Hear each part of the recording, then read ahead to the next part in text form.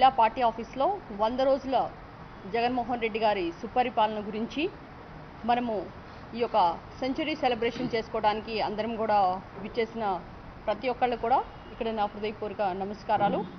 మరి వంద రోజుల సుపరిపాలన ఈ యొక్క ఆంధ్రప్రదేశ్ నవశకానికి నాంది సామాజిక విప్లవానికి అడుగులు వేస్తుంది. మరి వంద రోజుల పాలనలో ఒక రోజుకు ఒక పథకం చొప్పున చూసుకున్నా వంద పథకాలు ఉన్నాయి కానీ ఇప్పుడు నూట పంతొమ్మిది పథకాలు వచ్చినాయి. ఈ నూట పంతొమ్మిది ఒక్కొక్కటి చెప్పాలంటే అందరికీ చాలా కష్టమే. ఎందుకంటే అన్ని పథకాలు ఒక్కసారే చెప్పాలంటే తడబడకుండా కూడా చెప్పడం ఇంకా కష్టం. అయితే ఈ యొక్క వంద రోజుల్లో మరి ముఖ్యంగా చాలామంది ఇంతకాలం వరకు బీసీ ఎస్టీ ఎస్సీ మైనారిటీస్ని ఒక ఓట్ బ్యాంక్గానే గుర్తించారు.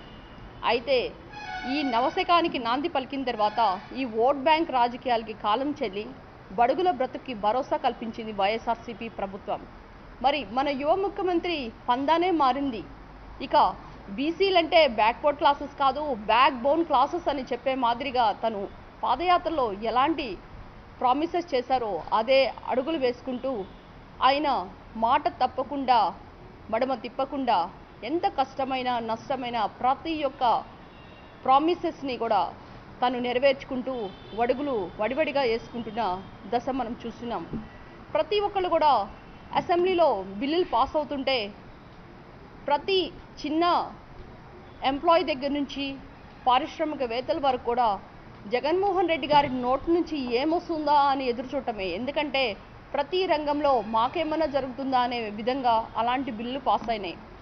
జూలై నెల రెండు వేల పంతొమ్మిది అనేది చారిత్రాత్మక దినంగా ఒక చరిత్ర పుటలో ఒలికించే రోజుగా కూడా చెప్పుకోవచ్చు. ఎందుకంటే పంతొమ్మిది బిల్లులు పాస్ అవడం అనేది అది ఎంతో చరిత్రని తిరగరాస్తారు జగన్మోహన్ రెడ్డి గారు. మరి ముఖ్యంగా ఫిఫ్టీ పర్సెంట్ నామినేటెడ్ పదవుల్లోనూ పనుల్లోనూ ఎస్సీ ఎస్టీ బీసీ మైనారిటీస్కి పదవుల్లో సమాన హక్కులు కల్పించడం అనేది ఇది హర్షదాయకం. మరి ముఖ్యంగా లేడీస్ అందరు కూడా అంటారు మరి మహిళలంటే ఆకాశంలో సగం అవనిలో సగం. మరి పదవుల్లో మాత్రం వీళ్ళకి ఎందుకు యాభై శాతం రిజర్వేషన్ ఇవ్వకూడదని మహిళలకి యాభై శాతం నామినేటెడ్ పదవులు తర్వాత పనుల్లో కూడా ఈ సమాన హక్కులు ఇవ్వటం అనేది ఎంతో హర్షించదగ్గ విషయం. ఇక్కడ రాజధాని ఏరియాలో చాలామంది యువతకి భవిష్యత్తు లేకుండా పోయింది. ఎందుకంటే వాళ్ళ భూములన్నీ కూడా సిఆర్డే రేంజ్కి వెళ్ళిపోయింది ల్యాండ్ పూలింగ్కి వెళ్ళిపోయింది. ఇలాంటి దశలో ఇక్కడ రాజధాని నిర్మాణాలు జరగాలంటే బయట నుంచి ఎక్కడో యువత వచ్చి ఇక్కడ పనిచేస్తున్నారు. మన యువతకేమో మొండి చేయి చూపించి మన వాళ్ళంతా ఇతర రాష్ట్రాలు పోయి పనిచేసే ప్రభుత్వం వచ్చింది. అయితే ఇప్పుడు యువ ముఖ్యమంత్రి గారు వచ్చిన దగ్గర నుంచి డెబ్బై ఐదు శాతం అందరికీ స్థానికులకి ఇక్కడ అవకాశాలు కల్పించడం అనేది అన్ని పీపీఏ ప్రాజెక్ట్స్లోనూ పనుల్లోనూ పారిశ్రమంలోనూ కానీ ఇవ్వటం అనేది ఎంతో గర్వించదగ్గ విషయం. మరి అంతేకాకుండా మరి మార్కెట్ యార్డ్స్లో ఎమ్మెల్యేస్కి గౌరవ చైర్మన్గా ఇవ్వటం అనేది ఎందుకంటే మనకి చాలా విషయాల్లో పంట నష్టం జరుగుతుంది ప్రకృతి విపత్తు జరుగుతుంది. మరి గిట్టుబడి ధర కలిగించదు. అలాంటప్పుడు ఈ ఎమ్మెల్యేలే అందులో ఇన్వాల్వ్ అయిపోయి వాళ్ళకి మద్దతు ధర కొరకు వాళ్ళు పోటపడటం అనేది రైతులకి మరి ముఖ్యంగా వ్యవసాయ మిషన్స్ తర్వాత అగ్రి ల్యాబ్స్ ఇలాంటివన్నీ కూడా అసలుకి మనం కనీ వినని చట్టాలను మనం ఇక్కడ చూస్తున్నాం. మరి పన్నెండు వేల ఐదు వందలు రైతు భరోసా పథకం అనేది ఏడు నెలల తర్వాత ఇవ్వాలి. కానీ తొలకరిలో ఇవ్వటం అనేది ఇది ఎంతో హర్షించదగ్గ విషయం. ఎందుకంటే ఈ డబ్బులు ఉంటేనే ఎరువులు కానీ తర్వాత వాళ్ళు ఒక సీడ్స్ కొనుక్కోగలరు. మరి ఎలాంటి కష్టాలు లేకుండా ఎందుకంటే ఇంతకాలం కూడా అందరూ చెప్తున్నారు ఎప్పుడైనా పంటలు వేసే టైం కల్లా అన్ని బ్యాంకులు కూడా వడ్డీ ఇవ్వడానికి రెడీ అవుతాయి. ఎందుకంటే ఈ యొక్క రైతులకి ఈ యొక్క వడ్డీల ఊబిలో కురిగిపోయి చాలామంది ఈ యొక్క కష్టాల్లో చాలామంది చనిపోవడం గమనించారు. సో అలాంటి కష్టం రాకూడదని దగ్గర దగ్గరగా ఎనభై నాలుగు వేల కోట్లతో వీళ్ళకి రుణాలు ఇవ్వటం తర్వాత వీళ్ళందరూ కూడా ఎక్కడ కూడా కష్టపడకుండా వాళ్ళకి ఎరువులు కానీ నాసిరకం విత్తనాలు అలాంటివి ఏమీ లేకుండా నత్రజని లెవెల్స్ చూసుకోవటం లూజ్ విత్తనాలు లేకుండా అవన్నీ చెక్ చేసి ఇవ్వటం వాళ్ళు బిల్లు కూడా పెట్టుకోమని చెప్పడం ఇవన్నీ కూడా అండ్ ఏవో ద్వారా వాళ్ళకి తరగతులు కూడా నిర్వహించారు. మరి ఇలాంటి అద్భుతమైన పాలన రైతుల గురించి మరి ముఖ్యంగా తొమ్మిది గంటలు ఉచిత విద్య ఉచిత కరెంట్ అనేది అసలుకి మనము ఎక్కడ కూడా కని వినని పథకం ఇది. అంతేకాకుండా ట్యాక్స్ ఫ్రీ ట్రాక్టర్స్ కొరకు తర్వాత ఎవరైనా రైతు చనిపోతే ఇదివరకు ఐదు లక్షలు ఇస్తామని చెప్పాం మేనిఫెస్టోలో ఇప్పుడు ఏడు లక్షలు డైరెక్ట్గా వాళ్ళ ఫ్యామిలీకే ఇస్తున్నారు. అండ్ ఇంకొకటి మనం చూసుకుంటే రైతు భరోసా పథకం ఎలా ఉందో రైతులందరూ కూడా సుభిక్షంగా ఉండాలి వాళ్ళ ఇంట్లో సిరి సంపదలతో ఉండాలి. ఎందుకంటే రైతు బాగుంటేనే ఆ ఇంట్లో పండగ ఉంటుందని చెప్పడం జగన్మోహన్ రెడ్డి యొక్క పెద్ద మనసు. ఎందుకంటే ఇంతకాలం కూడా గత ప్రభుత్వాలు ఏం చెప్పినాయి? వ్యవసాయం అంటే దండగా అని చెప్పిన రోజు నుంచి వ్యవసాయం అంటే పండగ మాదిరిగా వాతావరణం తెచ్చిన ఘనత జగన్మోహన్ రెడ్డి గారిది. మరి ఇక రైతు బాగుంటే దేశం కూడా క్షుభిష్టం ఉంటుంది. ఎందుకంటే వైఎస్ఆర్సీపీ ప్రభుత్వం ఎప్పుడు కూడా రైతు పక్షపాతి ప్రభుత్వం కనుక రైతులను ఆదుకోవటం అనేది ఈ ప్రభుత్వం యొక్క ధ్యేయం. మరి ఆరోగ్యశ్రీ పథకం ఇది వరకు పదకొండు వందల వ్యాధుల వరకు ఉండేవి అందులో మూడు వందల వ్యాధులు తీసేశారు. తెలుగుదేశం ప్రభుత్వం వచ్చి. ఆ one not four one not eight కాస్త పడకేసినాయి. ఆరోగ్యశ్రీ పథకం ఎక్కడుందో తెలియదు అది అనారోగ్యశ్రీ అయిపోయిన రోజుల్లో ఇప్పుడు జగన్మోహన్ రెడ్డి గారు వచ్చిన దగ్గర నుంచి ఆరోగ్యశ్రీ మళ్ళా అది రిపీట్ చేయటం తర్వాత మరి ముఖ్యంగా one not eight one not four వాహనాలు కొత్తవి కొనటం అండ్ ఇంకెక్కడైనా వెయ్యి రూపాయలు దాటితేనే వీళ్ళందరినీ కూడా ఆరోగ్యశ్రీ కింద ఈ వ్యాధులు ఇంక్లూడ్ చేయటం. మన ప్రమాదవశాస్తు సపోజ్ ఎక్కడైనా సర్జరీస్ కానివి ఏమన్నా హైదరాబాద్ చెన్నై పూణేలో అయితే అవి కూడా రీఎంబర్స్మెంట్ చేయటం.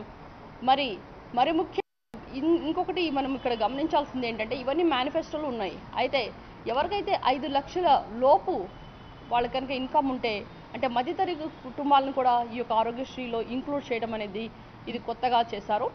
మరి ఇలాంటి గొప్ప పథకాలు రావటం తర్వాత దీర్ఘకాలిక వ్యాధులకి పదివేలు వాళ్ళకి యూనో పెన్షన్ ఇవ్వటం ఇవన్నీ కూడా చూస్తుంటే ఆరోగ్యశ్రీకి పెద్దపీట వేశారు. ఎందుకంటే మనకి విద్య ఆరోగ్యం బాగుంటే మన దేశం సుభిక్షంగా ఉంటుంది.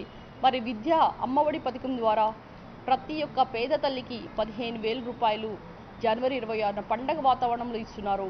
మరి ఎవరు కూడా డ్రాప్ అవుట్ రేట్స్ పెరగకూడదు. ప్రతి ఒక్క స్కూల్లో కూడా ఎన్రోల్మెంట్ చేయటం ప్రతి ఒక్క స్కూల్ ముందు రెండు ఇప్పుడు ఎలా ఉంది? తర్వాత రెండు సంవత్సరాల తర్వాత ఎలా ఉందని చూపిస్తూ వాళ్ళ పిక్స్ కూడా చూపిస్తామని జగన్మోహన్ రెడ్డి గారు ప్రామిస్ చేశారు. అదే మాదిరి వాళ్ళకి టాయిలెట్స్ దగ్గర నుంచి తర్వాత డ్రింకింగ్ వాటర్ ప్రతి ఒక్క ఫెసిలిటీ స్కూల్ పిల్లలకి ఇవ్వటం తర్వాత ఇక్కడ గమనించాల్సింది నో బ్యాగ్ డే సాటర్డే అంటే అసలు బ్యాగ్ లేకుండా మీరు చక్కగా ఆడుకోండి మీ స్వేచ్ఛగా తిరగండి మీ యొక్క ఈ యొక్క వాతావరణంలో మీ సృజనాత్మకత బయటకు వస్తుంది అదే మీరు కనుక కార్పొరేట్ స్కూల్స్లోకి వెళ్తే ఆ బిల్డింగ్స్లో ఒక ఒకదాని మెడల్ టైప్లో ఉంటాయి తప్పితే అక్కడ గ్రౌండ్ అలాంటిది ఏముండదు. ప్రతి బాగా ఇంప్రూవ్ అయ్యేటట్లు అంతేకాకుండా ఇంగ్లీష్ ఇంక్లూడ్ చేశారు. ఇంగ్లీష్ మీడియం ఉంటుందని తెలుగు తీశారు. తెలుగు కూడా సబ్జెక్టుగా ఉంటుంది. సో ఇవన్నీ పథకాలు అమ్మఒడి పథకం కింద వస్తే ఫీజ్ రియంబర్స్మెంట్ పథకం అది జగనన్న ఉన్నత విద్య పథకం ద్వారా మనం వెళ్తున్నాం. ఇందులో హండ్రెడ్ పర్సెంట్ ఫీజ్ రియంబర్స్మెంట్ అంతేకాకుండా ఇరవై వేలతో వాళ్ళకి భోజనం కానీ హాస్టల్ కానీ అన్ని సదుపాయాలు కల్పించడం అనేది ఈ ప్రభుత్వం యొక్క ముఖ్య ఉద్దేశం. అండ్ ఉగాది కల్లా ఇరవై ఐదు లక్షల పక్కా ఇళ్ళు ఇవ్వటం పేదవాళ్ళకి మరి ముఖ్యంగా అవ్వాతాతలకి పెన్షన్ పెంపు అనేది మూడు వేలు ఐదు సంవత్సరాల్లో చేస్తాం. ఇప్పుడు ప్రస్తుతం దాని యొక్క పెన్షన్ ఇస్తున్న అవ్వతాతలకి వయసు కూడా అరవై ఐదు నుంచి అరవై వరకు చేశాం ఈ సంవత్సరం వాళ్ళకి రెండు వేల రెండు వందల యాభై చొప్పున ప్రతి సంవత్సరానికి రెండు వందల యాభై పెంచుకుంటూ పోయి ఐదు సంవత్సరాల్లో మూడు వేలు చేస్తాం. మరి ఇంతకాలం కూడా అందరూ చెప్తుంటారు పాతకాలంలో కూడా ఆరు వందల యాభై హామీలు ఇచ్చారు తెలుగుదేశం ప్రభుత్వం.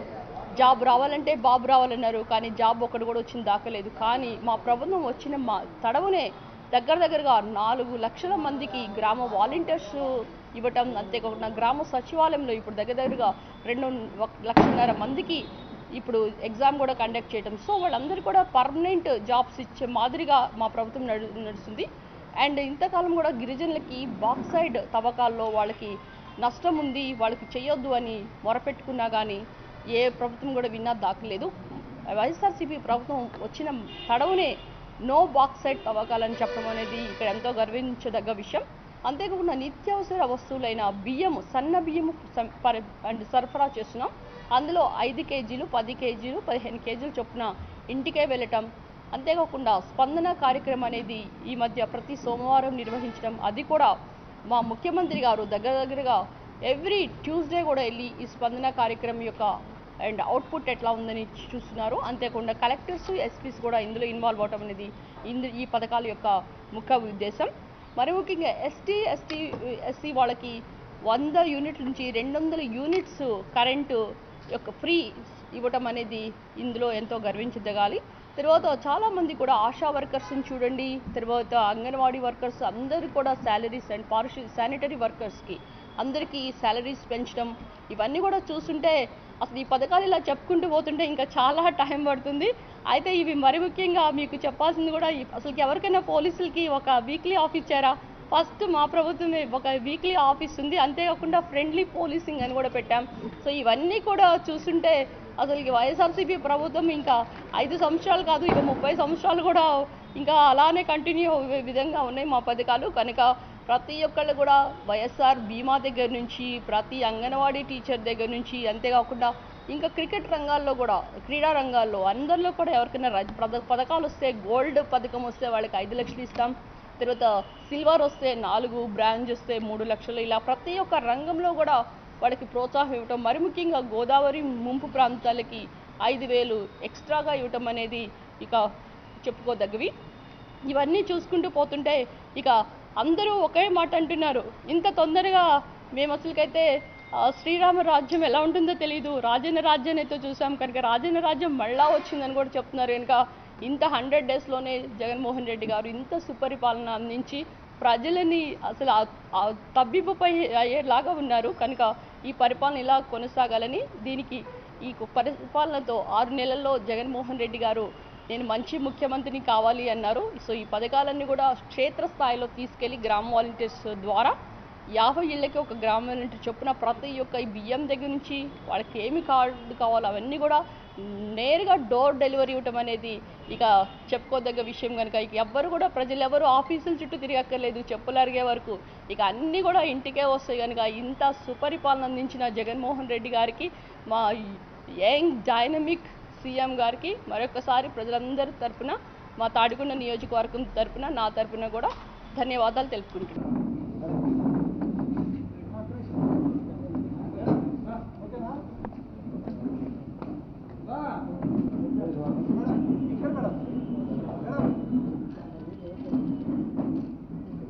మీరందరూ కూడా ఐ డ్రీమ్ ఛానల్ని సబ్స్క్రైబ్ చేయాలని కోరుకుంటున్నాను I'm Sucharita, Home Minister of Andhra Pradesh. For more videos, subscribe iDreams. Me Chirla Jaggireddy MLA Kothapeta for more videos please subscribe I Dream For more videos, please subscribe I Dream. నేను మీ Jakkampudi Raja for more videos please subscribe I Dreams I'm Revati Chaudhary. For more videos, please subscribe iDream. For more videos, please subscribe to iDream. For more videos, please subscribe iDream. I am Vasireddy Padma, Chairperson of State Women Commission. For more videos, please subscribe iDream.